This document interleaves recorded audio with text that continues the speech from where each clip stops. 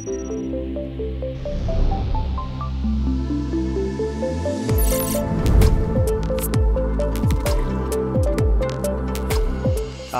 I'm Thomas Herrera, your CAT Grade product consultant, and I'm here today to speak to you about our amazing CAT Grade technology available on our tracked excavators from the 313 to the 395, and also on our wheeled excavators from the M314 to the M322. Since the launch of our next-gen excavators, we've made sure to include as much technology available to the customers factory fit and as a standard option. So these technologies included the CAT Grade with Assist, CAT Grade 2D, Lift Assist, Payload, E-Fence, Cab Avoidance.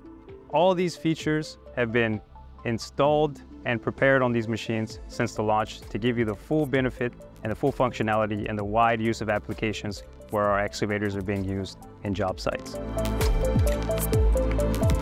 But to get all that information to the operator, we needed to install some sensors. So let me show you where these sensors are located and what they're doing. One of them behind me is what we call our bucket sensor. It's flush mount to the stick so that any material that's flowing around there doesn't damage it and it's well protected. And this is measuring the opening and closing of your bucket. On the top here, we also have our stick sensor, which is gonna measure the same thing, the position of the stick as it's moving in and out. And that same sensor we're gonna utilize as well for our boom up here to measure the boom position as it's moving up or down as well.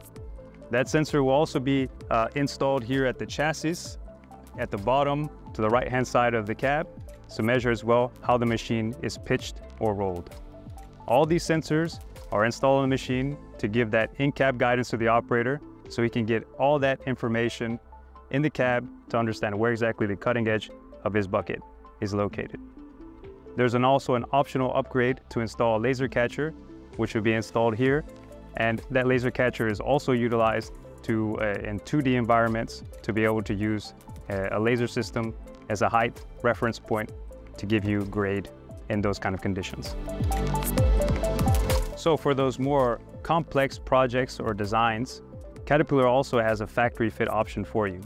You can go with a CAT Grade 3D single GNSS option or a dual GNSS option. That option allows you to have an additional display mounted inside the cab, giving you all that information that you need about the site plan.